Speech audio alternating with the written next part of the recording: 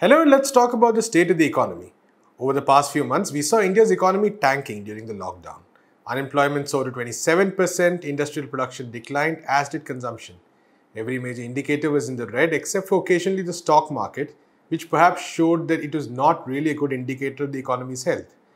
The month of June saw a bit of a revival though, and a host of experts, especially of the pro government variety, were quick to proclaim that the tide had turned. However, July does not seem to confirm that this is optimistic estimate. We talked to journalist Aunindyo Chakravarty on various indicators of the economy's health and what options the government has and what it should be doing.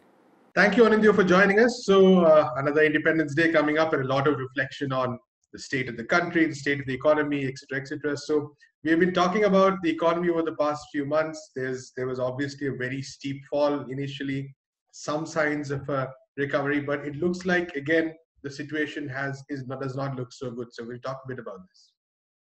Right. So in June, it looked like uh, that the recovery is taking place, and uh, by July, we should be back to, you know, pre-COVID nineteen lockdown situation. But that doesn't look like it's happening because the recovery that we saw in June seems to be uh, leading on to some sort of a slump in July. And uh, most indicators, what I call high-frequency indicators, which are released every uh, month or every two months or even every week those kind of indicators tell us that the July recovery has slowed down quite sharply, Prashant.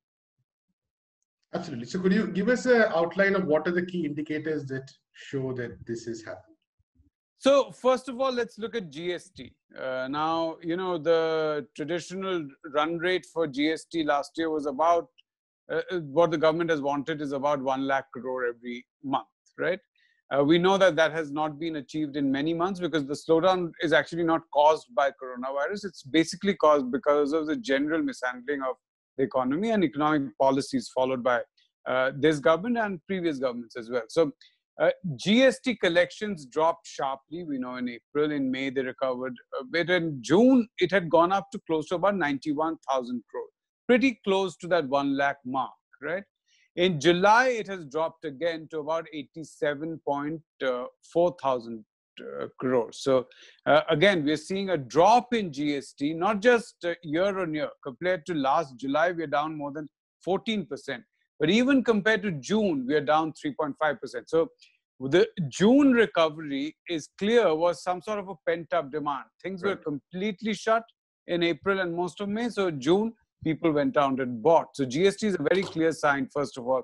Then let's look at some other data, for instance, uh, something like freight carriage. How much is the railways carrying on a daily basis? And uh, if we look at June average daily uh, carriage, uh, the freight being carried was about 3.12 million tons. That has dropped to 3.07 million tons in July. Now, you could say that in monsoon, certain kinds of freight does go down. That's true. But uh, given that the lockdown was opening up in most places, it was ending in most places, that freight rate should have gone up because the average is still not to the levels where it right. is uh, even in June. So that's one. Now look at uh, consumption of petrol and diesel.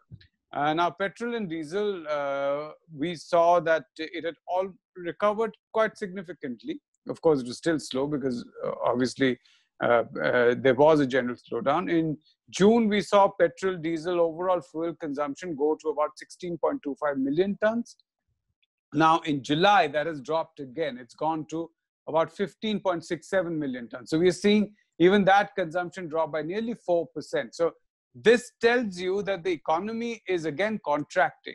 Uh, finally, let's take something which uh, most, uh, you know, brokerages or uh, economists attached to institutions look at something called the PMI. Now, the PMI uh, is uh, known as the Purchasing Managers Index. It tells you, and it's divided into services and manufacturing. I'm just looking at manufacturing. It tells you that uh, what is the purchasing manager, the person who uh, procures things, sells, and stuff like that. What is their anticipation, right? Mm-hmm. And what are they doing right now? So the PMI, when the index is above 50, the assumption is that the economy is expanding. And when the PMI goes below 50, assumption is that it is contracting. Uh, we know that in April, I think the PMI went to somewhere around 29 or something like that. And that is probably the lowest since this PMI has been recorded, uh, and that was expected. Uh, lockdown is going to do that. May it recovered a bit, and by June it had gone back to about 40, 47.2, which is close to 50, right? So uh, one would have imagined, and many commentators thought that okay, June there's been such a recovery. By July, they should cross 50 again. So we'll again go into an expansion mode. Right. Now remember that uh, Prashant, that growth is a necessary part of any economy uh, which is already developing and is largely poor and also where population goes up. Even if you have to match the 1% annual population growth then just to match per capita uh, supply of uh, goods that each person on an average should get the same amount of goods that they got last year growth has to be 1% right? So there has to be in a country like ours uh, PMI should be above 50 uh, always just to keep things at uh, where they were last year.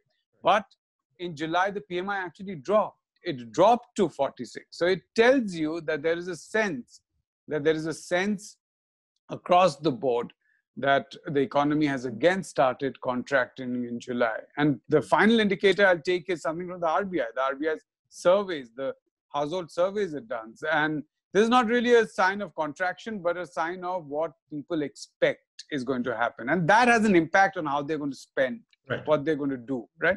And uh, one of those is uh, the sense of net sense of unemployment. Now, uh, unemployment levels have actually gone down quite sharply, as, as CMIE's weekly data tells us. It's almost come back to where it was unemployment, not employment level. These are two different things.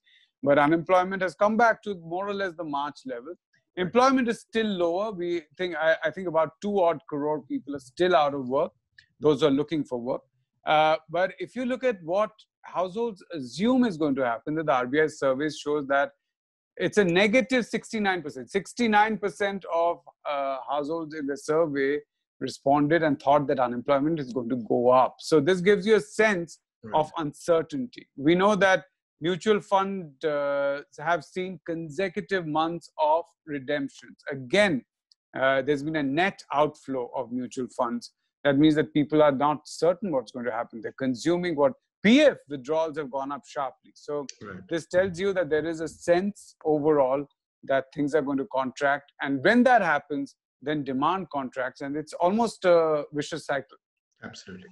So, in this context, has the government acknowledged any of this uh, at all, or has there been any sign from the government that there is some attempt at thinking through this process, at giving some direction to this process in the first place? Prashant, I think not only has the government not acknowledged it, the only backhanded acknowledgement you got is from Rajnath Singh, who says that if COVID 19 had not happened, India would have become the third largest economy in the world in another five to six years or some, some time frame that is given. So in a sense, that's a backhanded acknowledgement that things are not all right in the economy. The government still claims, and the news media, mainstream media, still continues to project that it has given 20 lakh, 21 lakh crores of uh, stimulus. We know that the actual amount is probably 10% of that or even less. Now, uh, what we're seeing is uh, yesterday we know that the prime minister came out with this, uh, uh, you know, tax transparency uh, thing.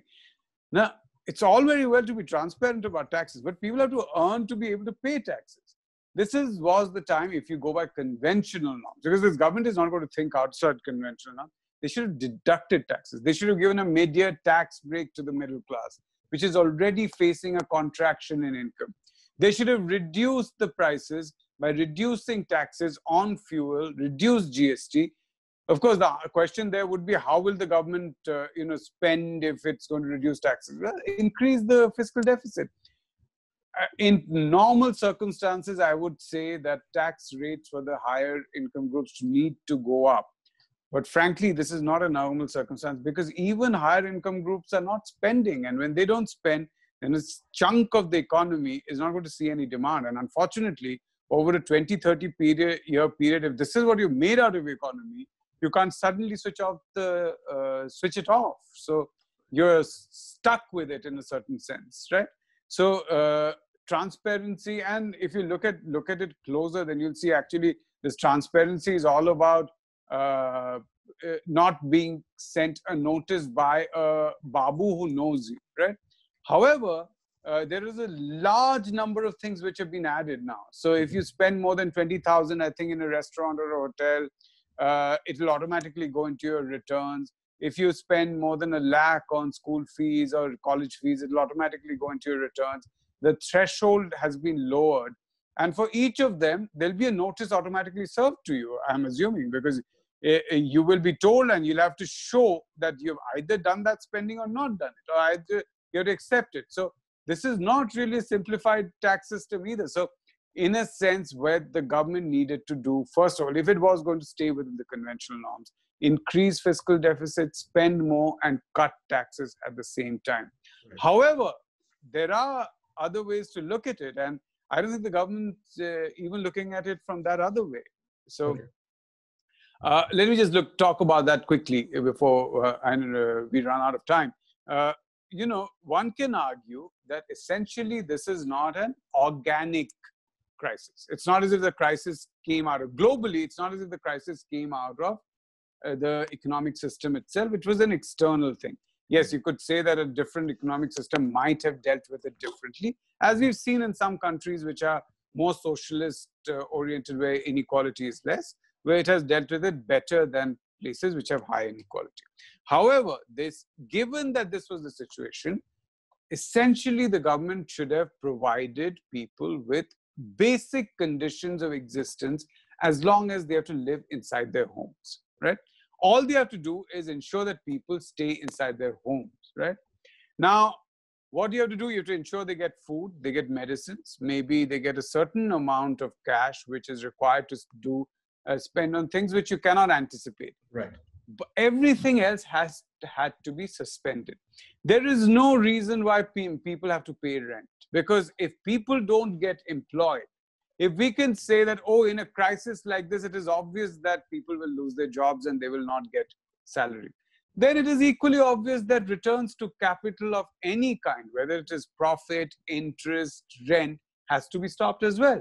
So there should have been no rent payment, no interest go out, and we, there should have been absolutely no reason to ensure that people make profits because as long as the government was able to spend to give you food, medicines, ensure that you have shelter, ensure that you have basic amenities, right. you just have to deal with this period as everyone is equal, right? That, of course, is utopian. It's not going to happen, we know. So, uh, given that uh, India is essentially an extremely unequal country and inequality is fostered by the system, I would say even then, the government needs to spend more and cut taxes because otherwise we are not coming out of this morass pretty anytime soon. Right. So at the most, what we'll see is minor recoveries followed by another slump. It becomes a continuous up and down process. Yeah, because we know this government has completely failed when it comes to dealing with uh, the virus itself. And right. in terms of daily number of cases, we are probably now number one uh, across the world. And we have no way to know what the deaths are because what is the death registration rate in India in any case, right? So Absolutely. we don't know how people are dying, what is happening, whether they're being recognized as COVID deaths or just being told they died. So right. there's no way to know this. Thank you, Anand, so much for talking to us. Thank you, Prashant. That's all we have time for today. We'll be back on Monday with major news developments from the country. Until then, keep watching NewsClick.